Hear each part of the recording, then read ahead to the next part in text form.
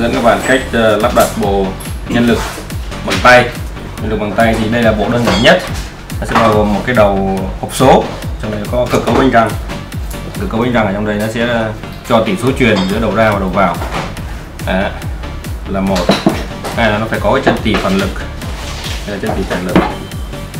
Đó. phần thứ ba đó là cái tay tay giữ đòn. Tay đòn phần quan trọng đối với cờ đối với bộ nhân lực là phải dùng socket đen. Bởi socket đen nó mới chịu được cái lực mô men xoắn lớn. Thì ờ, uh, tròn socket đen là tròn đầu vuông tương đồng với đầu vuông của bộ nhân lực. Lắp ráp rất là đơn giản. Tháo cái con ờ, lục giác này ra.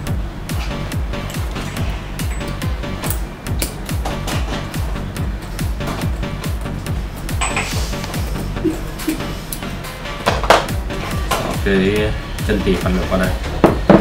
Đây, nó có cái lỗ. Cái lỗ tương ứng vào đây là được. Và đến ờ, tay đòn tay đòn vào đây.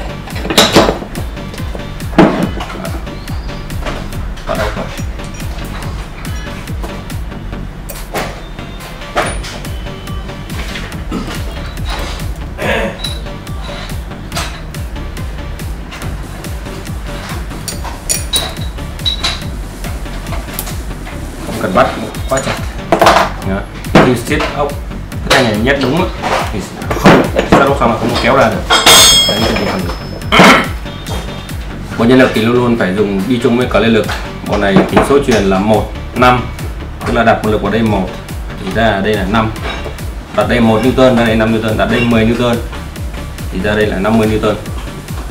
Nhân mét. À. hoàn chỉnh sẽ như thế này. Socket.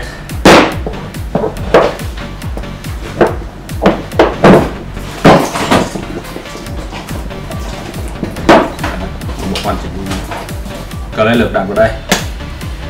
Về chỉnh được ở đây. Chỉnh được ở đây. Đặt lực ở đây.